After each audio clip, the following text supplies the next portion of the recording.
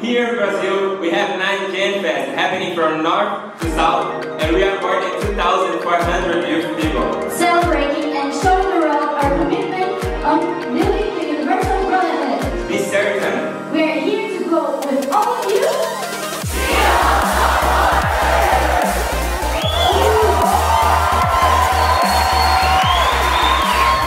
Hi everyone, we are here at our local Genfest in Campina Grande, Brazil.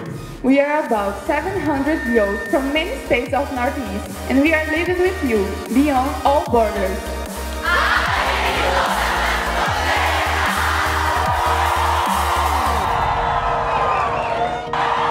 Hello from the local Genfest Albania!